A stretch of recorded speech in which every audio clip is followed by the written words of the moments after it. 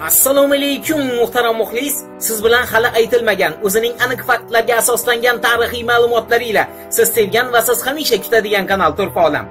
Mazkur sondagi roligimiz orqali biz sizning e'tiboringizga smolensk ostonalarida 1941 yillardagi janglarda asirga olingan 101 ta o'zbek askarining keyingi taqdiri haqidagi siz hali eshitmagan ma'lumotlarni taqdim etamiz. Hamkorimiz uzshop kanalga obuna bo'lishni ham unutmang. Ushbu kanalda siz aliexpress onlayn bozoridagi eng arzon va eng kerakli mahsulotlarning yangi narxlarini har kun kuzatib borishingiz mumkin. Kanal manzilini esa har doimgidek rolik ostida qoldiramiz. Demak boshladik. Tarix yana sizga muntazir.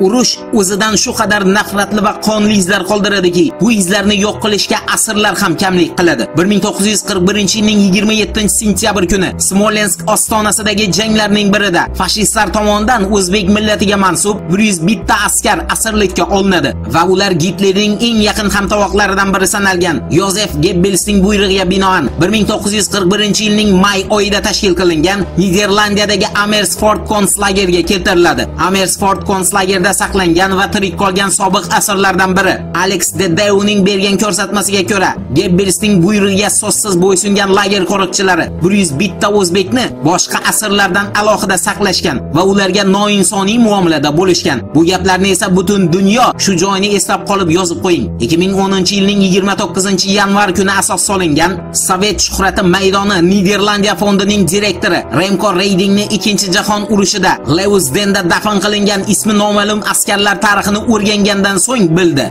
remko Reydingning qaydlariga ko'ra, fashistlar har hafta o'sha tasavvur qilib bo'lmas sharoitda saqlanayotgan 101 ta o'zbek asirlarini Amersfort shahridan shahar aholisiga ko'rsatish maqsadida olib o'targan. Boshqa asirlarga beriladigan kunlik oziq-ovqatni aniqroq aytadigan bo'lsak, faqat nonni 101 ta o'zbek askariga yarmini berish bilan kifoyalangan. Bir gal esa ularga non bergani uchun bir kun davomida butun Amersfort konslagerdagi asirlar ochlikda saqlangan qilingan. Bundan tushunadigan qilib aytganda 101 ta o'zbek askarini xo'rlashdan maqsad esa bitta edi. Bu ham bo'lsa, Yozef Gebbelsning hisobiga ko'ra, ochlikdan asrlar birgina non uchun hayvonlarcha tashlanib, bir-birlari bilan olishlari kerak edi va holat kamera tasviriga olinishi shart edi. Biroq shu yerni faxr va iftixor ila qayta-qayta takrorlab aytamizki, maxluq sifat iblisning yerdagi soyalaridan biri sanalgan Yozef Gebbelsning ushbu o'ylaganlarini, ajdodlari nomini va g'ururini har qanday qiyinchilik bitta ham unutmagan o'zbek askarlari chippakka chiqardi. Endi fakt. remko Reyding qaydlaridagi yozuvlarga ko'ra, Smolensk ostonalarida asirlikka olingan 101 ta o'zbek askarini barchasini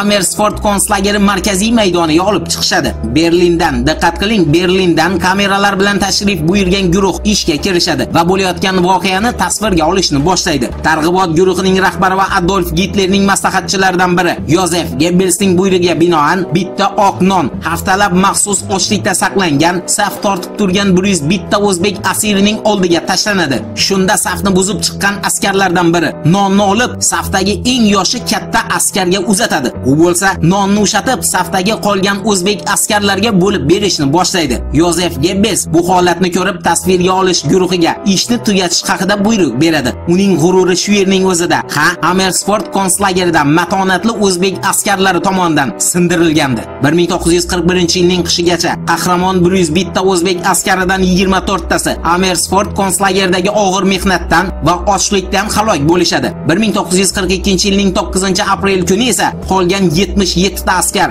Amersfort devorlari oldida otib tashlanadi. 1941 yilning may oyidan 1945 yilning aprel oyiga qadar qonli faoliyat ko'rsatgan Amersfort konslagerda u mavjud bo'lgan yillarda umumiy hisobda 35 mingta mahkum saqlangan. Shulardan 26500 bazasi Buchenwald konslagerga ko'chirilgan. Ushbu konslager tarixida esa 101 ta o'zbek shonli izlar qoldirib ketganligini faxr ila xotiralab roligimizga xotima yesaymiz. Ishonamizki, mavzuni aniq va tushunarli tarzda bayon qila oldik. Turfa olamda qoling, siz bilmagan, biroq bilishni istagan tarixiy ma'lumotlar hali oldinda.